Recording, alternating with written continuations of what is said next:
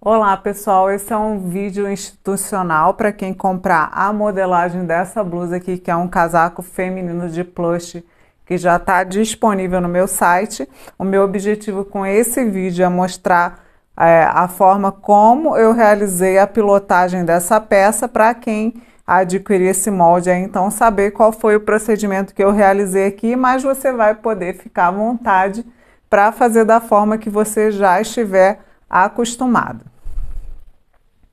Então, a primeira coisa que eu fiz para a montagem dessa peça piloto foi o capuz. Por quê?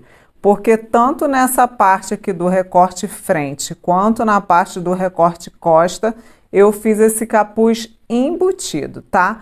Então, ao invés de cortar no molde lá, vai estar tá, é, o capuz duas vezes, porque ele tem essa costura aqui na parte do meio, e forro duas vezes. No meu caso, eu quis utilizar para o forro o mesmo material, então eu cortei quatro vezes no plush. Eu fiz costura rebatida dupla nessa parte aqui que a gente passa na overlock. Eu virei e passei costura dupla. Aqui ele não tem margem para fazer bainha virada para dentro.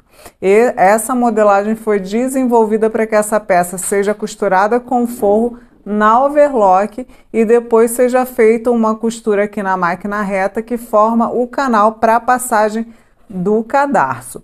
Para entrada do cadarço, eu coloquei ilhós 45, que é o de 9 milímetros, mas você pode fazer um outro tipo de acabamento, como casa de botão, caseado, isso fica a seu critério. Essa medida de altura também está marcada no molde que está disponível no meu site. O cadarço eu fiz utilizando também o mesmo material do, da peça, mas você pode usar cadarço que venda pronto. Se você quiser utilizar o cadarço da peça, isso também vai estar tá discriminado no detalhamento dessa peça. Então, depois de fazer o capuz, eu embuti nessa parte do primeiro recorte que vai até aqui a linha do busto e nas costas até a linha aqui da, do, da nossa, do nosso ossinho aqui das costas, que isso é, no caso, na modelagem. Esse casaco ele tem punho na manga e punho na barra. Então o punho, a barra aqui do, do casaco vai estar tá no molde duas vezes. Ela é o molde é inteiro, aberto e depois você vai dobrar.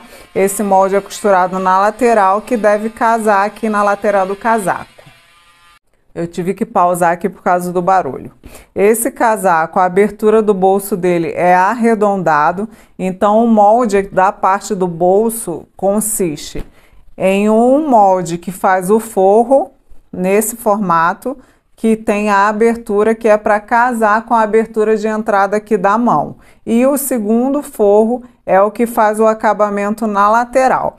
Esse primeiro forro aqui que é o mesmo que tem a abertura de entrada da mão, ele pode ser utilizado também um outro tecido, ou o mesmo tecido que você usar no capuz. Mas eu, no meu caso, quis fazer também utilizando o plush. Então, a gente costura aqui direito desse forro com o direito aqui da peça, na overlock, fazendo essa costura aqui de, de união e depois a gente vira o forro. Eu fiz um rebatido aqui acompanhando a anatomia desse bolso na máquina reta. Então eu só guiei com o calcador aqui, acompanhando aqui, ó. Eu sinto a overlock aqui por dentro, então eu vim acompanhando essa costura e fiz a anatomia.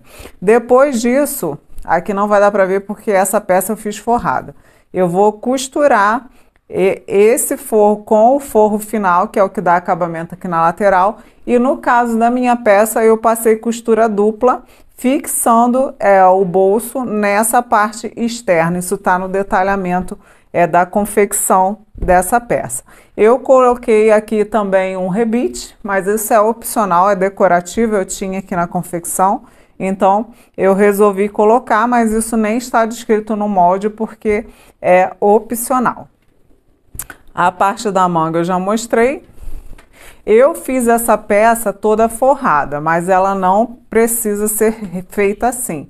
Então isso é opcional. Se você quiser forrar a sua peça, eu usei elanca, elanca light, que é um tecido térmico por ser de poliéster e ele é excelente para forro, mas você pode usar malha de algodão desde que seja feita a conferência do encolhimento para que não repuxe a peça.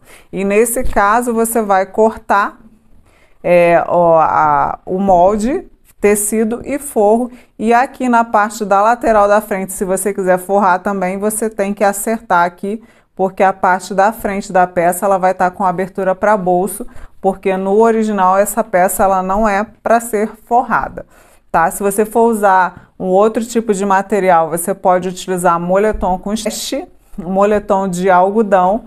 É, só que no caso do moletom de algodão sem elastano, você vai precisar utilizar ribana no punho e na barra, então é necessário fazer a conferência de elasticidade para ver se a modelagem que foi feita para essa peça que é de plush funcionaria também para a ribana. Caso não funcione, você precisa na peça piloto definir essa medida e fazer o pequeno ajuste no molde de retirando essa medida da lateral se for necessário. Então eu quis trazer esse vídeo, que é um vídeo para tirar dúvidas aí de como que eu fiz é, a peça piloto para quem adquiriu o molde no site. O molde já está disponível no site, o molde desse casaco. Eu vou deixar também o link na descrição desse vídeo. Se você tiver interesse em adquirir essa modelagem, você pode adquirir em tamanho é P, M, G e GG ou a grade completa que contempla todos os tamanhos do P ao GG.